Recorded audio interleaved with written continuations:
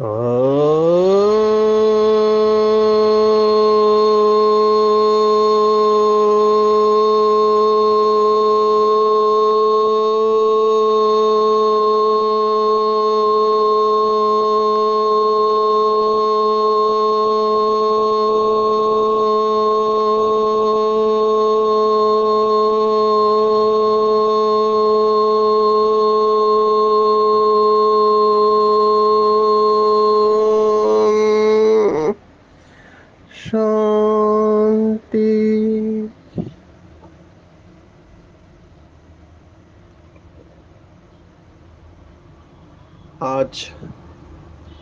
26 April 2024 Bharat में शुक्रवार है।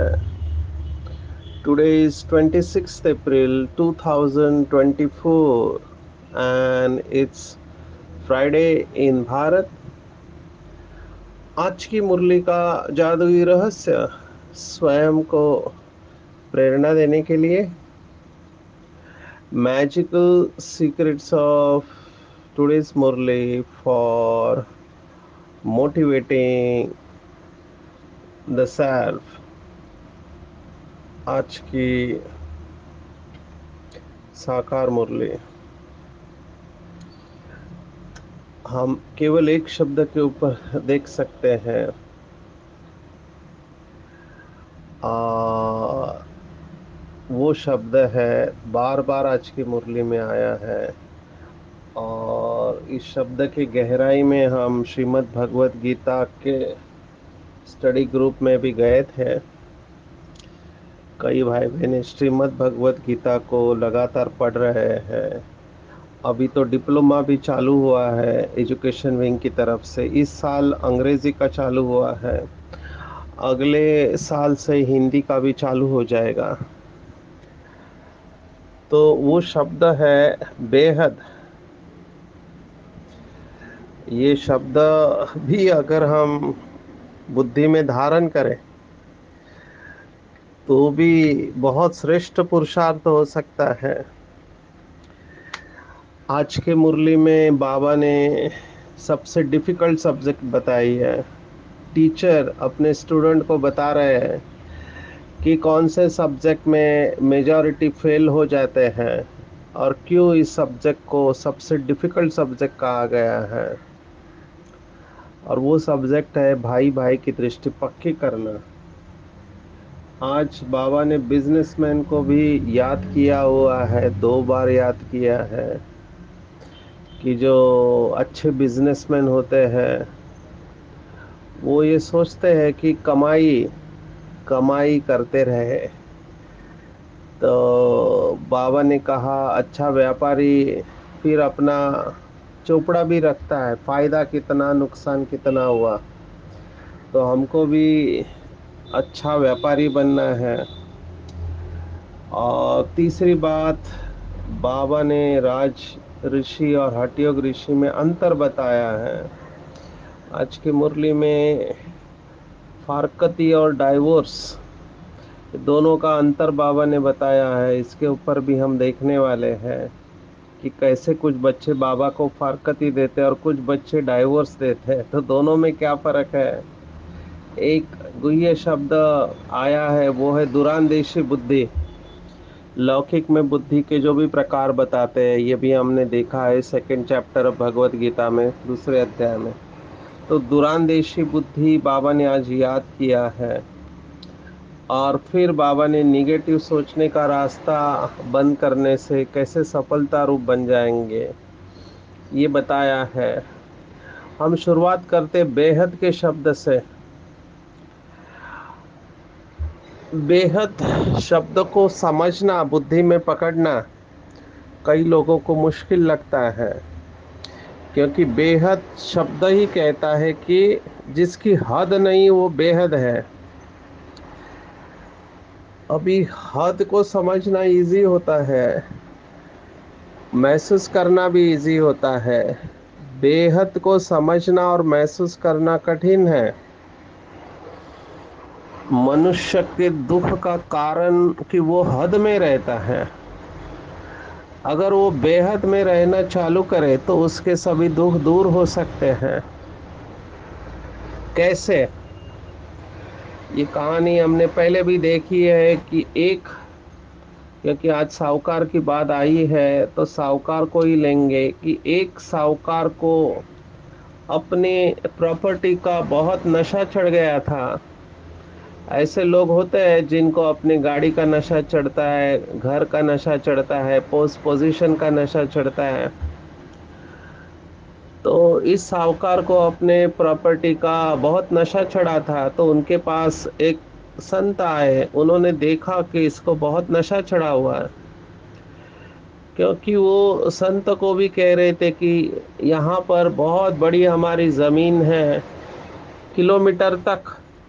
हमारे फार्म है, वगैरह वगैरह एरोप्लेन है, हमारा प्राइवेट जेट है। अभी वो गाँव में रहने वाला था। तो उनके ऑफ़िस में एक पृथ्वी का मॉडल था। माना आजकल ऑफ़िस में अर्थ का मॉडल रखते हैं, वैसे टेबल पे रखा हुआ था। तो संत ने उस व्यापारी को, उस साहूकार को, वो पृथ्वी के पास बुलाया। और वो पृथ्वी पर पूछने लगा कि इस पृथ्वी पर भला आप अपनी प्रॉपर्टी को दिखा सकते हैं क्या? तो पृथ्वी पर देश ही बहुत छोटा था नक्शा। उस देश में एक राज्य, उस राज्य में एक शहर, उस शहर या टाउन का एक गाँव और उस गाँव में छोटी सी ज़मीन जो उसको बड़ी लग रही थी। तो देखा कि पृथ्वी पर, पृथ्वी के नक्शे पर वो एक बिंदी भी नहीं था। तब उसे समझ में आ गया, बाबा जब बेहद कह रहा है तो आज की मुरली में ये शब्द बार बार आया है, बेहद का बाप और बेहद की पढ़ाई। साइंस ने हमको बेहद शब्द को समझने में बहुत मदद की है। साइंस के अनुसार, वर्तमान जो साइंस है, उसके अनुसार हमको जो भी दिखाई देता है, वो केवल पाँच तक का यूनिवर्स है। माना जिस यूनिवर्स में यूनिवर्स भी अनेक है, जिस यूनिवर्स में हम रहते हैं, वो यूनिवर्स का केवल पाँच तक का हिस्सा हमको पता है।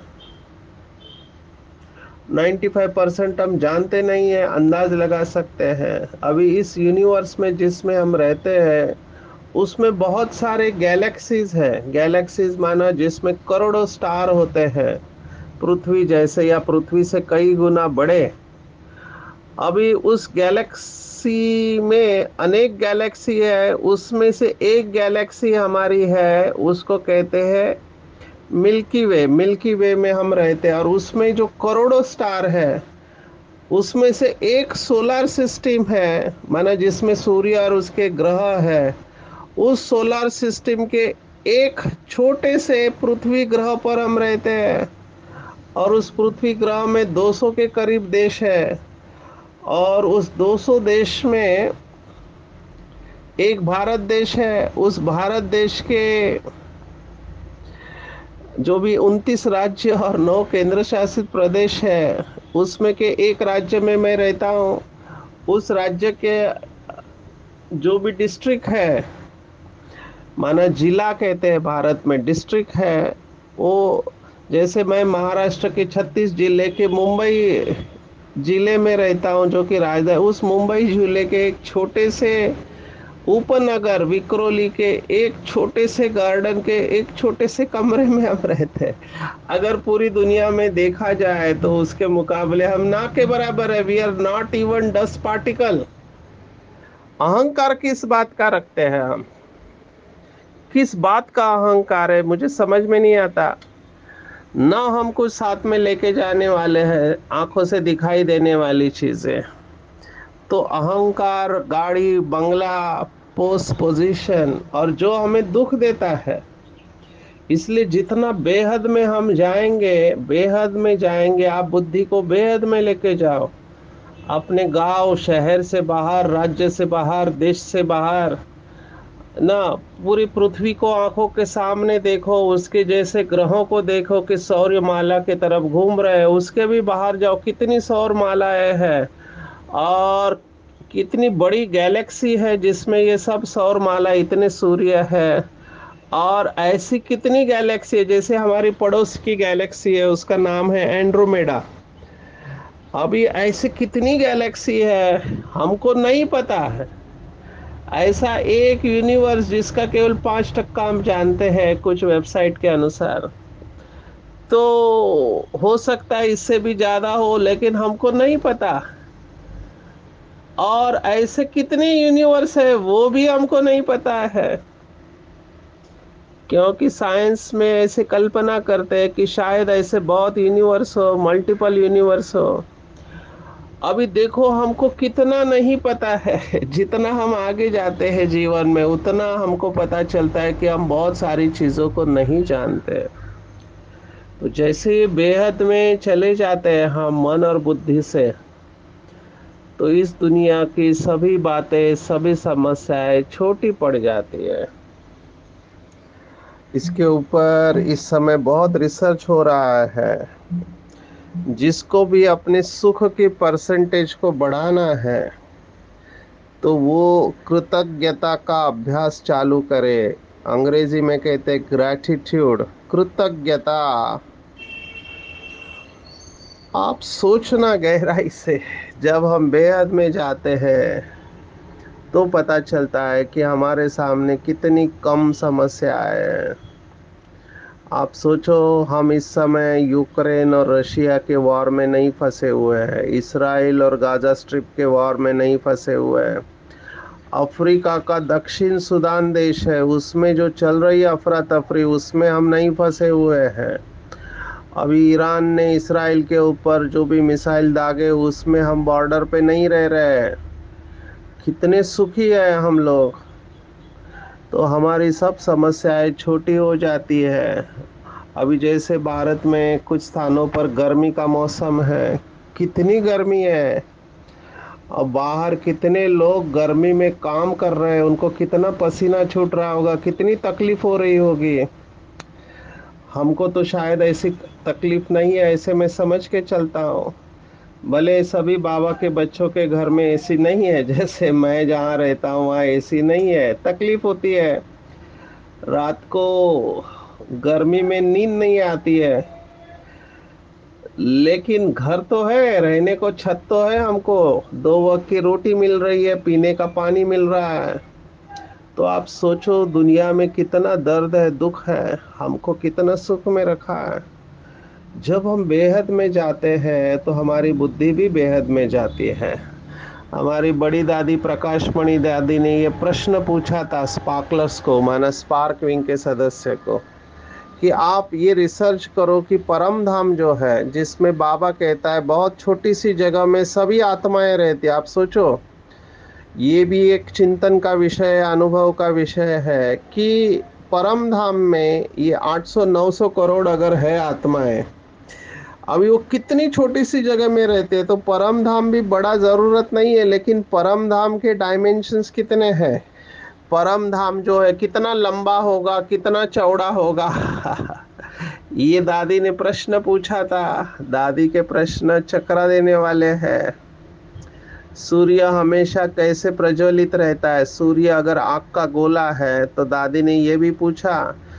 फिर दादी ने पूछा कि अमेरिका ने अपना झंडा चाँद पर जाकर लहराया। तो ड्रामा रिपीट होता है तो वो झंडा वापिस पृथ्वी पर कैसे आएगा? ऐसे बहुत सारे प्रश्न पूछे थे जिसका हमारे पास जवाब नहीं है। तो जितना व्यक्ति पढ़ने लगता है, उतना उसको ये समझ में आता है कि मैं कितनी सारी चीज़ों को नहीं जानता हूँ, उतना वो नम्र होने लगता है। क्योंकि उसको पता चलता है कि वो सब कुछ जान नहीं सकता इस दुनिया में। एक व्यक्ति सब कुछ जान नहीं सकता है आपको दूसरे की मदद लेनी पड़ेगी, तब उसके दिल से रेस्पेक्ट आता है दूसरे के प्रति। इसके ऊपर बहुत सारी कहानियाँ हैं। सबसे फ़ेमस कहानी तो नदी में नाव पार करने वाले की है। जो नाव पार करने वाला है, वो तो कभी स्कूल में गया नहीं। तो उसके नाव में एक बार एक प्रोफेसर आके बैठे। उन्होंने पूछा कि तुम कितना पढ़ाई पढ़े हो? तो बोला, मैं तो एक अक्षर भी नहीं पढ़ा हो। तो बोला, तुम्हारी ज़िंदगी पूरी बेकार है, तुमने कुछ नहीं पढ़ा है। तुम्हारे पास पैसा कितना है? वगैरह वगैरह, वो पूछते गया और वो कहते गया कि तुम्हारी ज़िंदगी बेकार है। कोई काम की नहीं, ना तुमने पैसा कमाया, ना तुम्हारा नाम है, ना तुम्हारे पास पढ़ाई है। अभी आगे नदी में तूफ़ान आ जाता है। अभी नाव डूबने वाली होती है, तब वो नाव चलाने वाला प्रोफेसर को पूछता है कि तुम्हें तैरना नहीं आता? आता है या नहीं आता है? तो उसने कहा, नहीं आता है। तो बोलता है, तुम्हारी तो पूरी ज़िंदगी गई, मैं तो तैर के निकल जाऊँगा। तो स्किल्स बहुत इम्पोर्टेंट है। हर एक स्किल वाले की ज़रूरत है। ड्रामा में सबकी ज़रूरत है। हमारी आदरणीय जयंती बहन जी ने अनुभव सुनाया कि कैसे उन्होंने पुरुषार्थ किया। अभी हम सबके जीवन में ऐसे प्रसंग आते हैं, संगठन में चलना मासिक अगर नहीं होता है, कुछ आत्माओं का बिहेवियर उनको डिस्टर्ब कर रहा था तो दादी को कहा, जानकी दादी को कि ऐसा है, उस आत्मा से परेशानी है तो दादी ने कहा जब इन्होंने कहा कि उसको वहाँ से निकाल दो निकाल दो या उनका रोल चेंज करो तो दादी ने कहा, क्या तुम उसका रोल प्ले कर सकते हो? ड्रामा में सबकी ज़रूरत है। बाबा बार बार ये भाव हमको कह रहा है कि ड्रामा में सभी की ज़रूरत है। हमारे आदरणीय ब्रिजमोहन भाई जी हमेशा कहते हैं, पहले राशन, फिर भाषण। भाषण करने वाले भी भाषण तभी करेंगे। जब राशन मिलेगा और भोजन, नाश्ता हमको मिलेगा। इसलिए किचन में सेवा करने वालों की ज़रूरत है, झाड़ू मारने वालों की भी ज़रूरत है। कई बार हम झाड़ू मारने वालों को भी रेस्पेक्टफुली ट्रीट नहीं करते हैं। मुंबई की कहानी है, फ्लैट में कचरा उठाने वाली लेडी आई, बेल बजाया। तो अंदर से एक लड़का आया, उसने मम्मी को कहा, मम्मी, कचरे वाली आई है। तो उसकी माता जी होशियार थी, समझदार थी। उसने बच्चे को समझाया, बच्चे ऐसे नहीं कहते हैं, कचरे वाले तो हम हैं, ये तो कचरा उठाने वाले हैं। टॉक विथ रेस्पेक्ट सम्मान के साथ बात करो। अगर किसी शहर में ये म्यूनसिपैलिटी के कामगार जो कचरा उठाते वो नहीं आए तो आप सोचो कितना कचरा और बदबू जमा हो जाएगी। इनका कितना बड़ा रोल है। तो हर एक के रोल को रेस्पेक्ट देना चाहिए। जितना हम बेहद में जाएँगे, हमारी बुद्धि बेहद में जाएगी। उतना ये समझ हमारे अंदर आते जाएगी। इसको कहते हैं बेहद की उन्नति करना। अच्छी रीति पढ़ाई को पढ़ना है। मैं पढ़ाई का एक एंगल आपको बताया। क्योंकि आपके पास पढ़ाई है, किताबों का नॉलेज है, लेकिन आप रेस्पेक्ट करना नहीं जानते दूसरे को। तो मेरे ख्याल से वो पढ़ाई का यूज़ क्या है? If you can't respect the other person जो भी है मैंने देखा है बड़े बड़े कंपनियों में, वो बॉस जब एंट्री करता है सिक्योरिटी वाला उसको सैल्यूट मारता है गुड मॉर्निंग बोलता है, लेकिन वो कुछ बोलता ही नहीं ऐसे ही चला जाता है। ये भी सोचना चाहिए कि are we respecting our security person are we are taking them from granted बहुत लोगों को हम गृहित धर के चलते हैं कि इनको ये करना ही है, ये इनका जॉब ही है ड्यूटी है। इसीलिए बाबा ने कहा, सबसे डिफ़िकल्ट सब्जेक्ट है आत्मिक दृष्टि भाई भाई की दृष्टि पक्की करना है। अभी मधुबन में हम थे, मेरे ख्याल से महाराष्ट्र का टर्न था, उस वक्त हमारे परम आदरणीय संतोष बहन जी। उन्होंने मुरली क्लास में सुनाया अनुभव कि एक कारपेंटर पांडव भवन में सेवा दे रहे थे। एक बच्चा बार बार आके उसको परेशान कर रहा था तो उसने उसको मारा। तो बच्चा सीधा ब्रह्मा बाप के पास गया और कहा कि मुझे मारा है कारपेंटर ने करके। तो कारपेंटर को बाबा ने बुला लिया, बोला, इसको तुमने मारा। बोला हाँ ये मेरा बच्चा है और बहुत मस्ती कर रहा था। तो मेरे से रहा नहीं गया, मैंने इसका मारा। तो बाबा ने कहा, पहली बात तो ये आपका बच्चा नहीं है। ये शिव बाबा का बच्चा है, आत्मा आत्मा, भाई भाई है। तो भाई के साथ रेस्पेक्टफुली बात करना चाहिए। ये क्रोध के ऊपर बात निकली थी बाबा ने तो ये उदाहरण आदरणीय संतोष बहन जी ने सुनाया क्लास में। अभी देखो, हम छोटे बच्चों के ऊपर मेरा कहने का भाव है कि माँ बाप अपना टेंशन है, गुस्सा है, वो छोटे बच्चों के ऊपर निकालते हैं, क्योंकि they are the soft target क्योंकि वो प्रतिकार कर नहीं सकते, उनको भोजन खाना पीना के लिए माँ बाप के ऊपर डिपेंडेंट रहना पड़ता है। इसलिए उनके ऊपर गुस्सा निकाला जाता है। अभी ये कॉमन प्रिंसिपल है कि जो भी कमज़ोर है, उसके ऊपर सभी लोग उसको दबाने की कोशिश करते हैं। पर वहाँ पर आत्मिक भाई भाई की दृष्टि है, ये कुछ उदाहरण मैंने सुनाया। आज बाबा ने नाम रूप की बीमारी के ऊपर भी बताया, किसी का रूप सुंदर होता है तो उससे प्रभावित हो जाते हैं।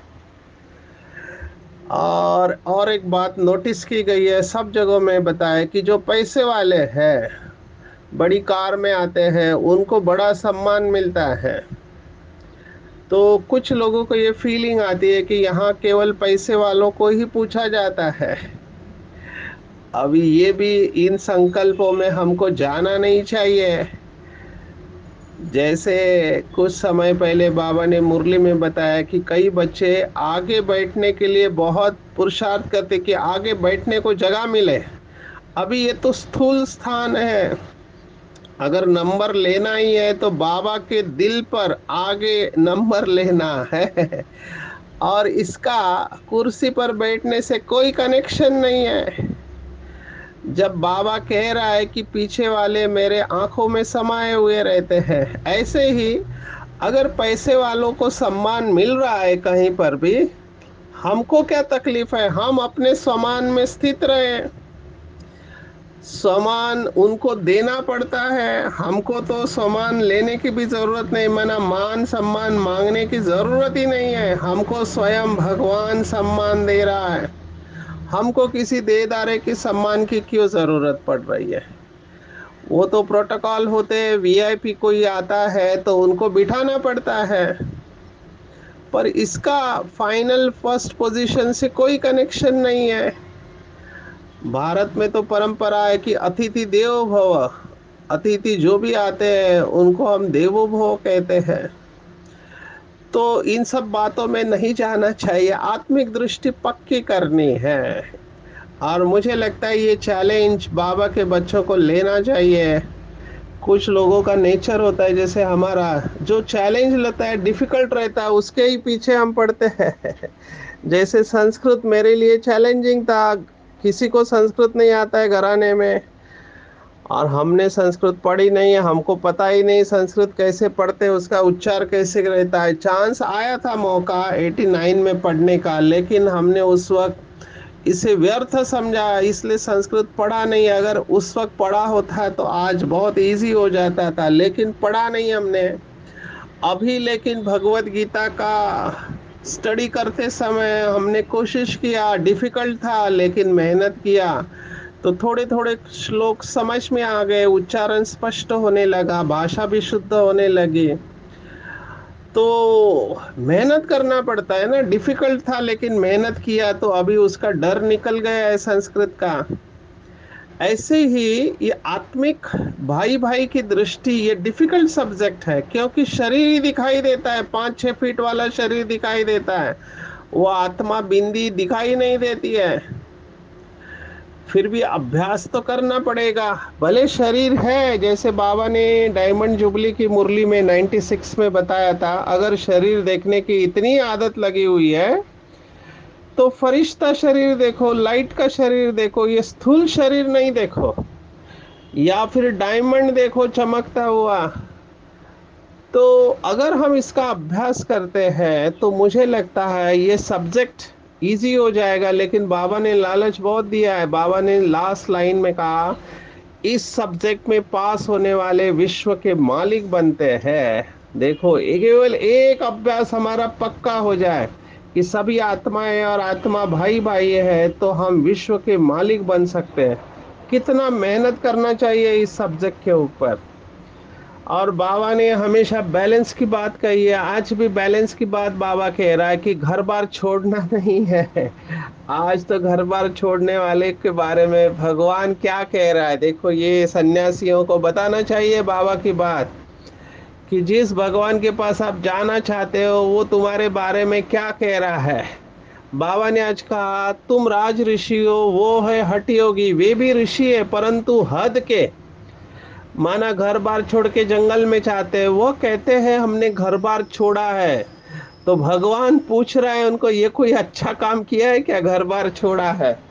तुम घर बार तब छोड़ते हो जब तुमको विकार के लिए तंग करते हैं। ये बाबा के बच्चे जिन्होंने घर बार छोड़ा, उनके बारे में बाबा कह रहे हैं। उनको क्या तंगी हुई जो घर बार छोड़ा? तुमको तो मार पड़ी तब तुम भागी हो। एक एक से पूछो, कुमारियों ने, स्त्रियों ने कितनी मार खाई है, तब चली आई है। शुरू में कितने आए? यहाँ मिलता था ज्ञान अमृत तो चिट्ठी ले आए कि हम ज्ञान अमृत पीने ओम राधे के पास जा रहे हैं।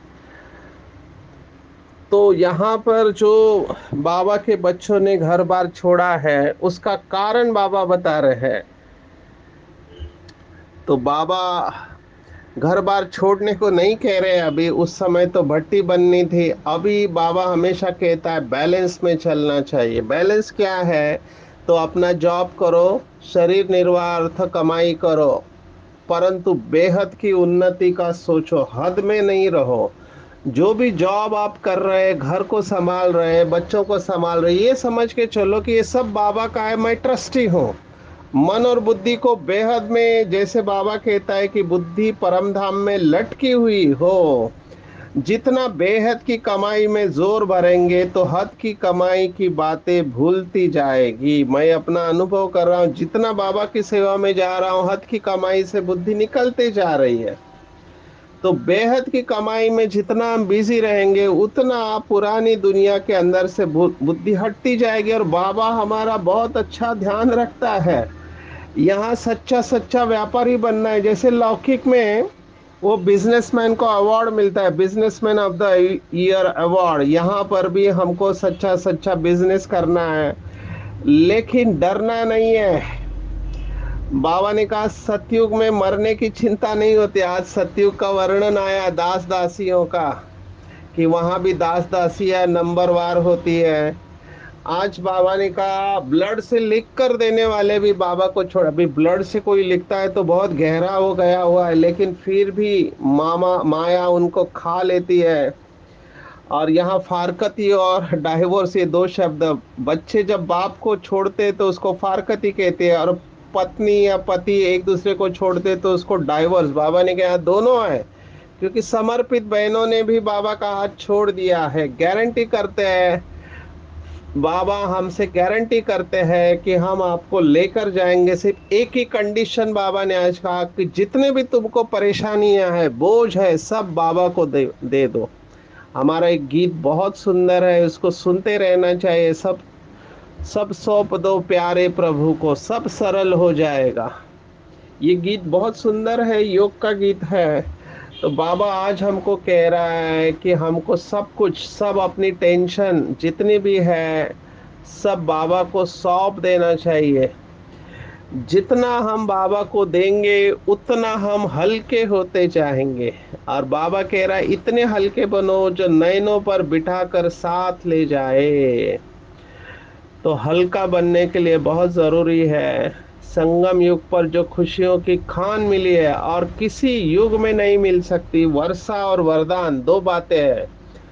जो हमको मेहनत से मुक्त करती है, वर्षा नेचुरली मिलता है और वरदान से सब कुछ सरल हो जाता है।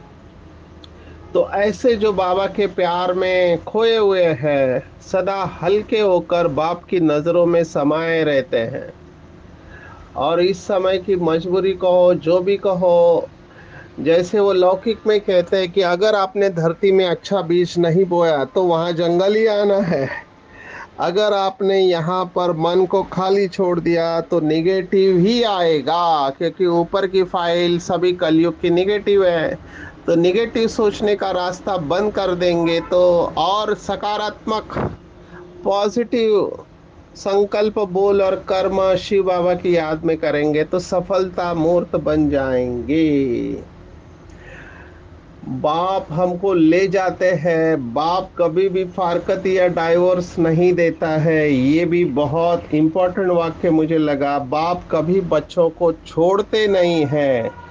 इसलिए बाबा का हाथ पकड़ के रखना और अपना हाथ उसको देना है और उसका हाथ पकड़ के रखना है। बाप कभी भी बच्चों को छोड़ेगा नहीं। पेपर तो आने ही है, लेकिन डरना नहीं है। आज के मुरली में पूरा टेक होम ज़्यादा समय हमने लिया, बेहद में जाना है, हद में नहीं जाना, क्योंकि हद में झगड़ा है, हद में डिवीज़न है, बेहद में सब समाप्त हो जाता है। तो बेहद शब्द के अवस्था में स्थित हो जाना चाहिए। बेहद को फील करना है कि मैं बेहद के बाप की संतान, बेहद की पढ़ाई और बेहद की उन्नति कर रही हूँ। डिफ़िकल्ट सब्जेक्ट को इजी करने के लिए उसका बार बार अभ्यास करना है कि सभी आत्माएँ आपस में भाई भाई है। एक भी विकारी संकल्प नहीं आना चाहिए। मन, वचन, कर्म से पावन बनना है। किसी के नाम रूप में फंसना नहीं है। विकारी छीछी संकल्प नहीं करना है। और अपने सभी बोझ बाप को दे देने। एकदम हल्का होकर बाबा के नयनों में समाने वाले सहज योगी बनना है निगेटिव सोचने का रास्ता बंद कर देना है सफलता का अनुभव करना है। अच्छा ओम शांति।